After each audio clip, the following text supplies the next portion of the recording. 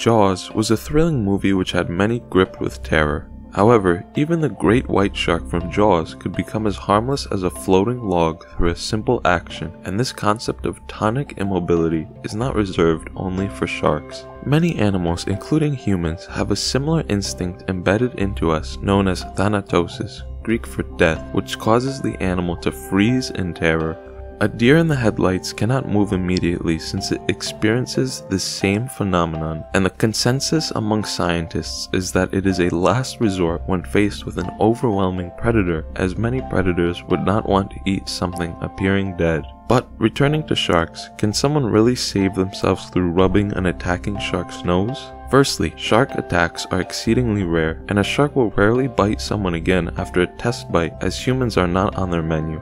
Secondly, ecologist Dr. David Schiffman says the best way to deter a shark is by jabbing its eye. Yet, although sharks do not have many predators, they still may experience tonic immobility and complete loss of movement, and it's a great way to subdue them in some scenarios. Tonic immobility in sharks is initiated by either rubbing their nose or flipping them upside down. It is unclear how exactly these occur within the shark's physiology, but the nose rubbing could have something to do with the shark's incredibly sensitive electroreception, and the flipping could be due to changes in balance or loss of blood flow the brain. Losing mobility while flipped may have been evolved by sharks due to injuries avoided during mating, where male sharks bite and grip the female shark before turning the female shark upside down. Researchers have even used the flipping method to easily work with and tag sharks since it's equivalent to surgical anesthesia where there is total loss of muscle control and no response to stimuli.